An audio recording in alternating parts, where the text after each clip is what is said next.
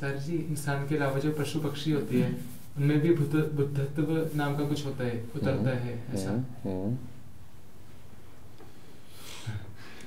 बेटा बुद्धत्व जो कुछ भी है वो माँगता है कि तुम बंधनों से बंधे हुए ना हो।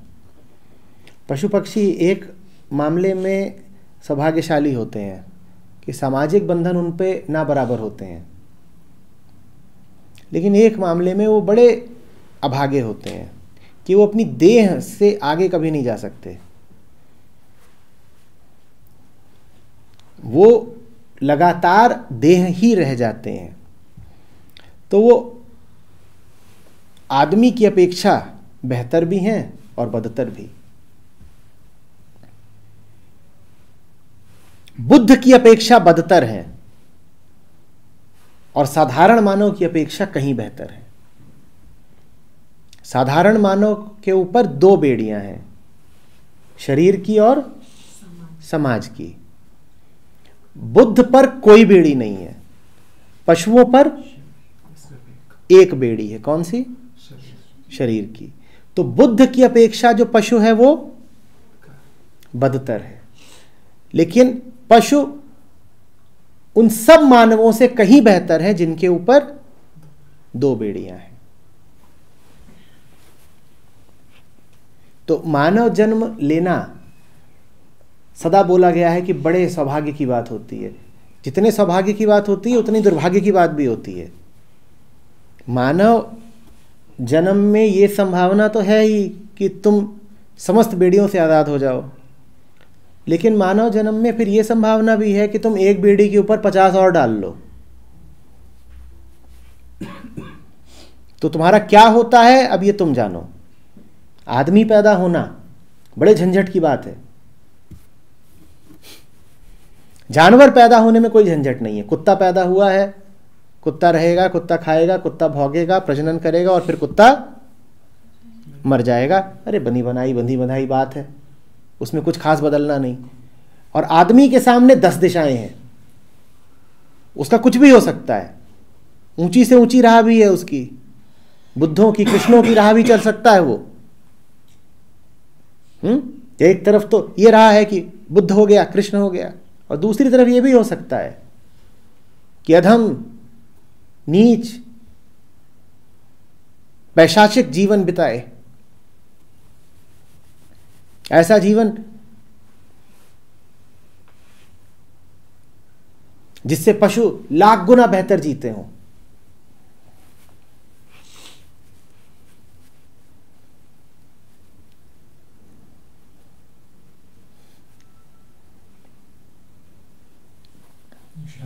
शारीरिक बेड़ी हटने से क्या अभिप्राय होगा? मतलब जैसे जो पशु है वो, जिसकी आयु समाप्त हो रही है तो मतलब उसका फिर कुछ फर्दरेंस है? या नहीं उसका कोई फर्दरेंस नहीं है। वृत्ति का फर्दरेंस है। वृत्ति कोई चीज़ थोड़ी होती है। हम्म, शरीर चीज़ है। वृत्ति चीज़ नहीं है।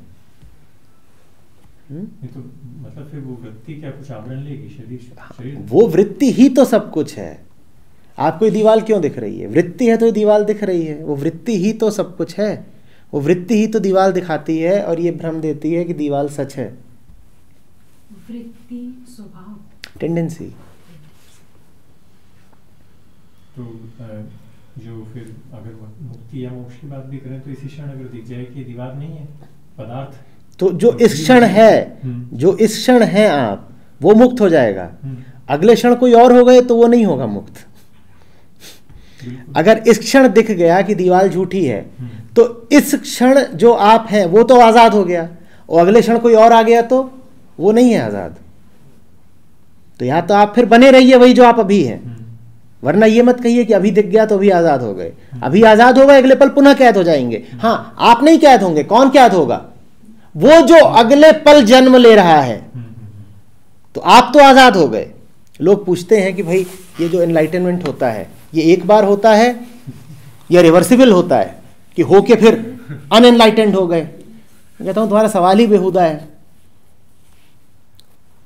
जिसका हुआ वो तो उसी पल आज़ाद हो गया पर आज़ाद ऐसा हुआ कि अब वो बचा ही नहीं। हाँ अगले पल कोई और आ सकता है। और जो अगले पल आया है उसे अगले पल पुनः मुक्ति चाहिए। वो जो वीडियो की आपने बात कही थी कुछ बहुत ही सूक्ष्म है बहुत ही तो ऐसा नहीं है कि आज बात समझ में आ गई तो दो साल बाद भी ट्यूबलाइट जलती ही रहेगी। ऐसा कुछ नहीं है। सुबह ने अगले पल आप वो नहीं है। अगले पल जो है उसे पुनः मुक्ति चाहिए। जो यहाँ से घर जाता है वो कोई हो रहा है। हाँ हाँ। जो बैठे हुए हैं तो आप सब मुक्त हैं। इस वक्त यहाँ बुद्धों के अलावा कोई नहीं है। पर अगले पल क्या होगा कौन जाने?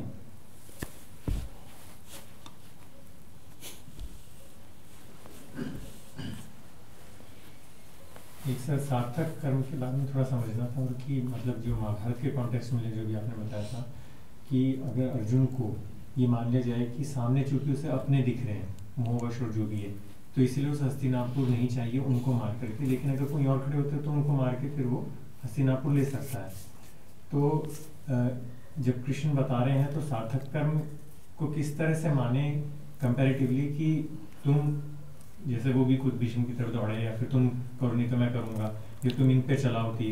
या फिर ये है कि मैं इस व्यवस्था से अपने आप को अलग कर ले रहा हूँ कि ना तो मुझे हस्तिनापुर की कोई इच्छा है शेष, और ना मेरे को युद्ध का कुछ है। उस चीज़ को निष्काम कहें, या सार्थक कर्म को क्या कहेंगे, या सार्थक कर्म में हिंसा को कैसे सही माने? क्योंकि उसमें वो हिंसा जो भी नहीं, हिंसा ये नहीं है कि तीर चला दिया या किसी को लग गया। हिंसा बड़ी सूक्ष्म बात है।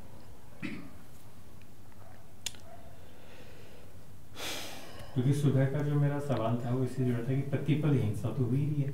नहीं प्रतिपल हिंसा हो ये ज़रूरी नहीं होता। जैसे जेंट्स का जो है वो तो क्यों बोल रहे हैं तो वो बड़ी स्थूल हिंसा हाँ, की बात है। हाँ हाँ। हिंसा वो है नहीं जिस अर्थ में अभी हिंसा को लिया जाता है हिंसा वो चीज़ ही नहीं है। हम्म, हिंसा का काम से कर्म अर्थ है अपने आप को कुछ मान लेना। मैंने अपने आप को ये मान लिया। ठीक है? ये तभी तक है जब तक इसे पकड़ने वाली उंगली है या इसे रखने वाली मेज है या ये ज़मीन पर पड़ा हुआ है तो। जब भी ये होगा, इसके अलावा भी कुछ होगा ना? अभी ये है और अंगूठा है, फिर ये है और मेज़ है, फिर ये है और ज़मीन है। उछाल भी दिया तो ये है और गुरुत्वाकर्षण है, ये और हवा है। और ये है और वो है जो कह रहा है कि ये है तो दो तो सदा है। तो ये जैसे ही हुआ कुछ भी, जैसे ही इसने कोई भी पहचान धारण करी तो इसके अलावा कोई दूसरा अस्तित्व में आ गया ना? ये बात स्पष्ट है? एक आया तो दूसरा अपने आप आ गया, ठीक?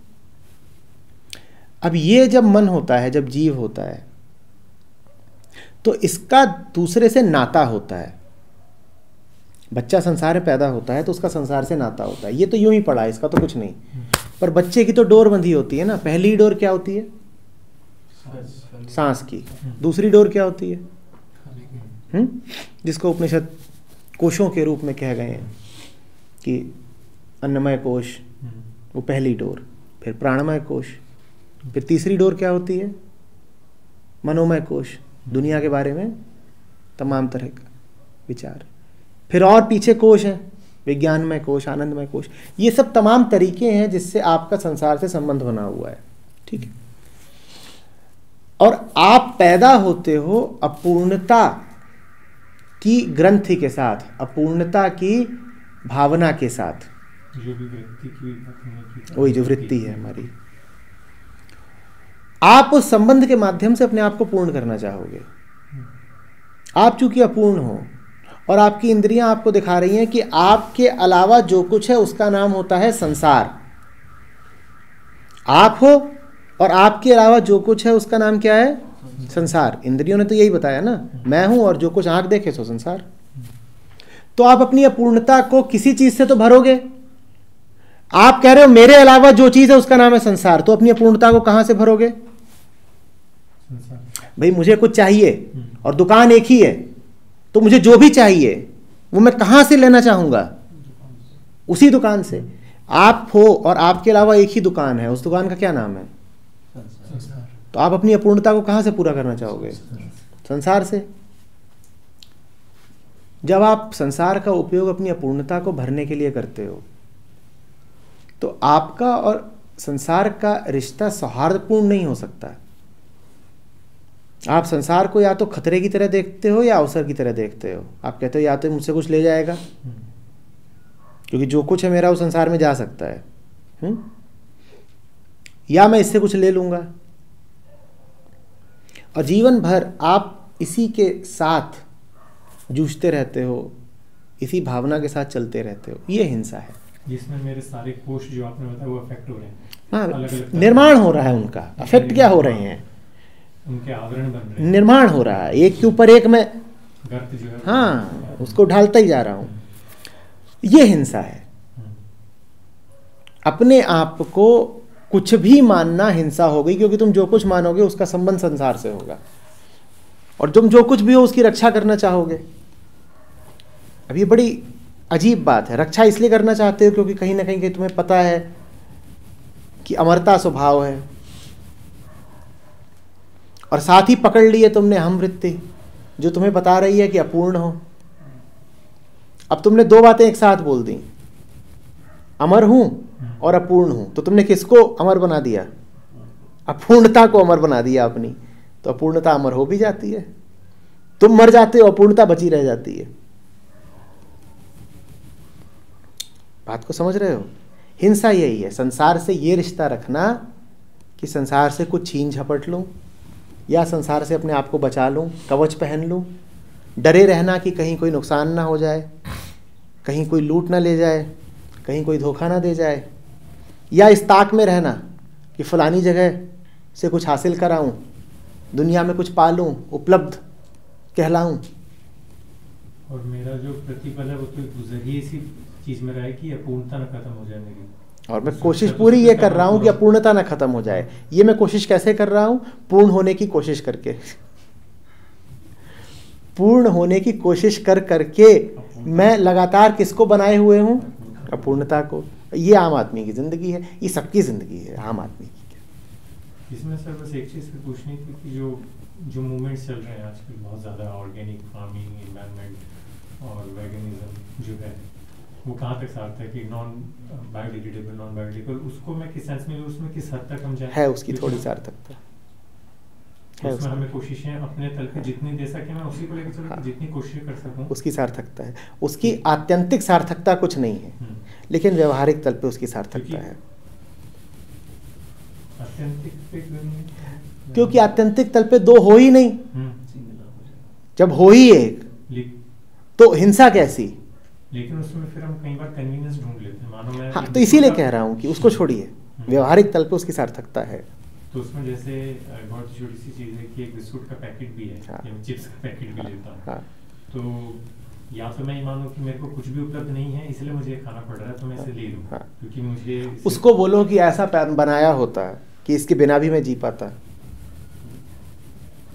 आपको पता भी नहीं है आपकी आंत में कितने बैक्टीरिया प्रतिपल मर रहे हैं। हम्म, आपने पानी पिया एक मर गया। एक नहीं एक हज़ार मर गए। हम्म, क्या कर लोगे? उससे बोलो कि ऐसा बनाया होता कि ये सब ना होता तो मैं मान जाता। अब तूने बनाया ही ऐसा है कि मेरे होने भर से कोई जीव मर रहा है तो मैं करूँ क्या? शेर के होने भर से हिरण मर रहा है। शेर क्या करे?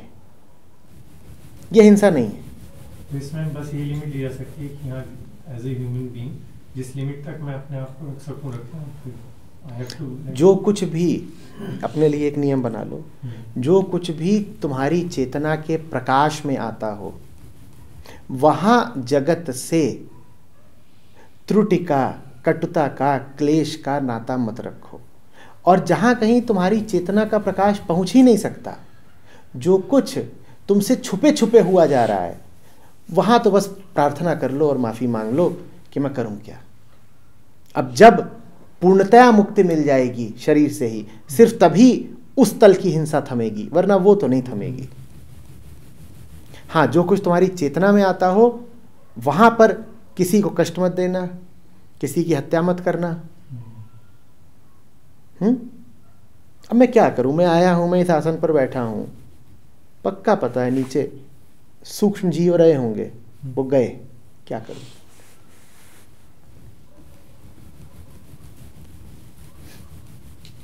आप कितना भी साफ़ करके पत्तियाँ खा लो, उन पर सूक्ष्म जीव तो होते ही हैं, और आप उन्हें चबा रहे हो तो मांसाहारी सभी हैं। हम्म।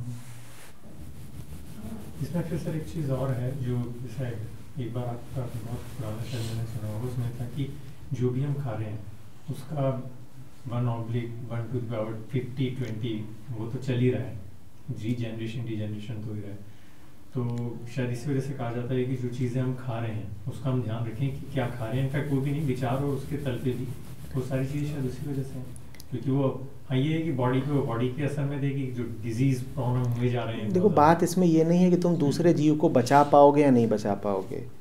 बात तुम्हारी नीयत की है। तथ्य तो यह है कि तुम कितनी भी कोशिश करो तुम्हारे होने भर से कोई ना कोई मरेगा और कोई ना कोई कष्ट पाएगा। तुम्हारे होने भर से। तुम उसको नहीं रोक सकते। लेकिन नीयत तो साफ़ रखो। नियत तो ये रखो कि कोई कष्ट ना पाए मेरी वजह से। और वो नियत तुम तभी रख सकते हो जब तुम अपने आप में संपूर्ण रहो। क्योंकि अगर तुम अपने आप में ही बीमार या बेसहारा या बेचारगी अनुभव कर रहे हो तो तुम ये ख्याल नहीं कर पाओगे कि दूसरे को कैसा लग रहा है। तुम्हारी सारी चेतना जो है वो स्वकेंद्रित हो जाएगी। भाई तुम्हारे दर्द हो रहा है बहुत ज़्यादा, अब तुम्हें दूसरे के दर्द का ख्याल नहीं आएगा। तुम तो अपने ही दर्द से उलझे हो। तो तुम अपने आप में स्वस्थ और संपूर्ण रहो। फिर तुम ये कह पाओगे कि दूसरे से कुछ चाहिए नहीं, दूसरे को हानि करने से मुझे कोई प्रयोजन नहीं। दूसरे को हानि तुम करते क्यों हो? इसलिए तो करते हो ना कि तुम्हें लाभ हो जाए। दूसरे की हानि क्यों करते हो? ताकि तुम्हें लाभ हो जाए। तुम वहाँ जियो जहाँ पर और लाभ अब चाहिए नहीं, फिर तुम दूसरे की हानि नहीं करोगे, ये अहिंसा है। बाकी संसार चक्र चलता रहेगा, तुम कैसे भी चलोगे, तुम्हारे पाँव तले सूक्ष्म जीव तो मर ही रहे हैं। वो संसार चक्र है, लेकिन वो हिंसा नहीं है फिर, क्योंकि तुम आंतरिक रूप से संपूर्ण हो। हिंसा को स्थूल रूप से देखोगे तो कभी नहीं रुक सकती। हाँ, जो सूक्ष्म हिंसा है, वो तुम रोक सकते हो। और वही असली हिंसा है। कृष्ण अर्जुन को स्थूल हिंसा में प्रेरित कर रहे हैं और सूक्ष्म हिंसा से बचा रहे हैं। और बहुत सारे ऋषि मुनि होते हैं, जो स्थूल रूप से अहिंसक बनाते हैं, लेकिन सूक्ष्म रूप से बड़ी हिंसा में डाल देते हैं। हुए हैं ऐसे ऐसे नेता और ज्ञानी और महापुरुष जिन्होंने कहा कि आओ सब और बीस दिन का उपवास करो। और अगर किसी ने बीस दिन से पहले उपवास तोड़ा तो हम कहे देते हम बीस दिन का और करेंगे। अभी कहने को अहिंसा सिखा रहे हैं पर इनकी अहिंसा के केंद्र में हिंसा है। और कृष्ण की हिंसा के केंद्र में अहिंसा है। हुँ?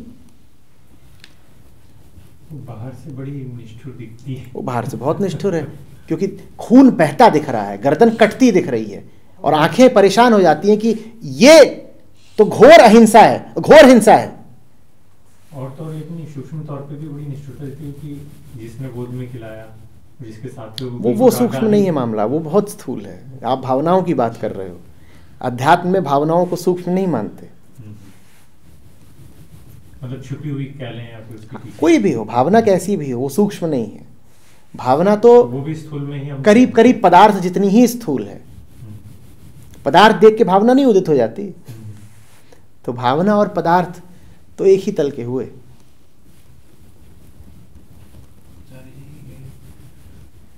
जो मृत्यु का क्षण है उसे इतना निर्णायक क्यों कहते हैं मतलब सब क्योंकि तुम्हारी कहानी वहाँ खत्म हो जाती है। तुम्हें जो एक अवसर मिला था वो तो वहाँ खत्म ही हो गया ना। तुमसे बात कर रहा हूँ तुम जो इस शरीर को अपना कहते हो तुम्हारी बात हो रही है। तुम शरीर को अपना कहते हो तुम अपने आप को शरीरधारी शरीर जीवी पचास चीज़ें कहते हो देही। तो देह गई तो देही कहाँ बचा? उस समय बोध होना बहुत ज़रूरी है। अरे उससे पहले बोध होना बहुत ज़रूरी है।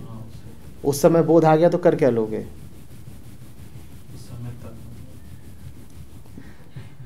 जब चेत जाओ उतना अच्छा। हिंसा हिंसा की बात करते हैं तो इसमें आप पीस कहते हैं उसको कैसे देखते हैं? क्योंकि हिंसा अहिंसा में मतलब अहिंसा को मुझे पता नहीं आप कैसे डिफाइन करेंगे पीस की तरह। मैं पीस को कहीं अलग देख रहा हूँ इससे। अहिंसा, हिंसा और लाइफ में पीस होना, ये आप एक साथ पूर्णता के अलावा शांति कहाँ है? हम्म? पूर्णता अहिंसा है और पूर्णता शांति है, अलग क्या देख रहे हैं? पूर्णता ही अहिंसा है और पूर्णता ही शांति है। पूर्णता नहीं है अगर तो शांत रह लोगे। लग रहा है कि कहीं कोई कमी है, कोई खोट है तो शांत रह लोगे। तो पूर्णता ही शांति है। पूर्णता ही अहिंसा है।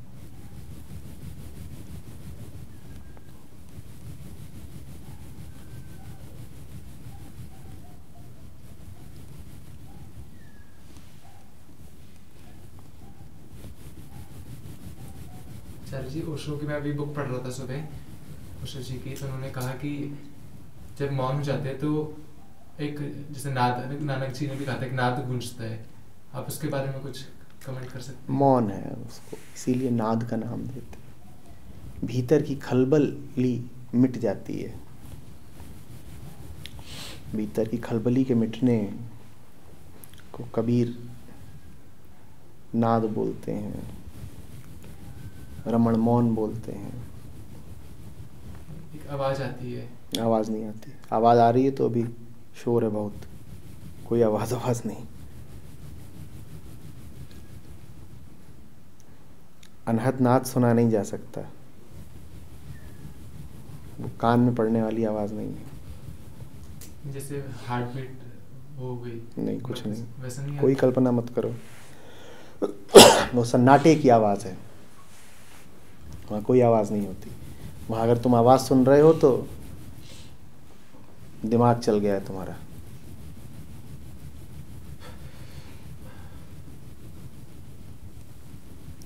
अगर मैं ईयर प्लग लगाता हूँ मतलब जिससे बाहर का बंद जाए तो क्लियर आती है मेरे को मतलब मैं कहीं पढ़ के नहीं बोल रहा मैंने एक्सपेरिमेंट किया था तो आ रही थी। अरे भाई वो नॉइज़ है बहुत यहाँ पे तरंगे हैं उन सबसे आवाज़ आती है। वो तुम्हारे कान की बात नहीं है वहाँ पे अगर तुम कोई सेंसिटिव रिसेप्टर भी लगा दोगे तो वो भी बता देगा कि हाँ आवाज़ है। तो ऐसा नहीं कि तुम्हारे साथ कुछ खास हो रहा है। है यहाँ बहुत आवाज़ें हैं। इस पे तो प्रयोग हो चुके हैं। अगर बिल्कुल मौन कमरे में तुम्हें रख दिया जाए तो तुम पाँच मिनट, दस मिनट से ज़्यादा रह नहीं सकते, क्योंकि बिल्कुल जो निस्तब्धता होती है, पूर्ण नीरवता, उसका तुम्हें कुछ पता नहीं है। तुम्हारे कानों ने सदा आवाज़ें ही सुनी हैं। कुछ तो वो आवाज़ें हैं जो तुम सुनते हो, जैसे अभी मैं बोल रहा हूँ, तुम सुन रहे हो। इसके अलावा पचास छिपी हुई आवाज़ें जो पचास तरफ़ से आ रही हैं। वो बहुत हल्की पड़ गई हैं तो तुम्हें पता नहीं चलती। ये जो रिकॉर्डिंग करते हैं, इसके बाद इसमें नॉइज़ करेक्शन करते हैं। अभी इसको सुनो, इसमें ऐसी ऐसी आवाज़ें आएँगी कि तुम कहोगे, ये भी हो रहा था, वो सब है वही पकड़ रहा है। जितना तुम्हारे कान न पकड़ पाए, उससे ज़्यादा तो ये पकड़ रहा है। फिर हटाना पड़ता है वो सब, चढ़ाने से पहले। तो वो तुम ईयर प्लग लगा रहे हो तो ऐसा नहीं है कि ऊपर से भगवान बोल रहे हैं। उधर कहीं सड़क पे ट्रक बोल रहा था वही आवाज़ धीरे धीरे हल्की होके आई है। वो ट्रक है। इंद्रदेव नहीं है। जैसे जैसे मौन होते हैं वो ऐसा लगता है कि घेर लिया उस आवाज़ ने। हाँ तो घेर ही रखा है चारों तरफ़ है। उसमें तो लगेगा ही। जैसे और शांत होती है तो वो बढ़ती है। हाँ तो बढ़ेगी क्योंकि और आवाज़ें जब नहीं है तो उस पर ध्यान ज़्यादा जाता है। पर है वो आवाज़ ही। वो कोई नाद वाद नहीं है।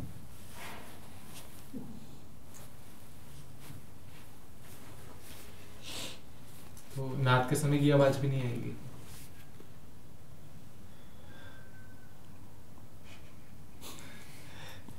तो क्या करना है? महल बना के रख लेना है पहले से और इंतज़ार करना है कि कब मेरा गृह प्रवेश होगा। हम्म